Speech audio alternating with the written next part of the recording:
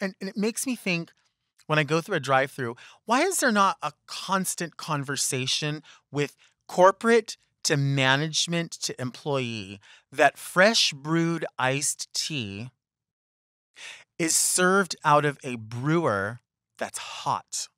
So when you scoop the ice up in the cup and then you put the iced tea on it, the fresh brewed unsweetened iced tea, it's going to melt the ice. So I think we need to have this discussion and I think my my company Deltaco or some people call it Del Taco, but it's it's Deltaco. We need to start at the corporate level and then go down to management, down to the um, the employee and let them know we are no longer standing for a small amount of ice. We need the ice filled to the top because it's going to melt down to halfway. Because nobody wants to drink hot iced tea. I do want fresh brewed,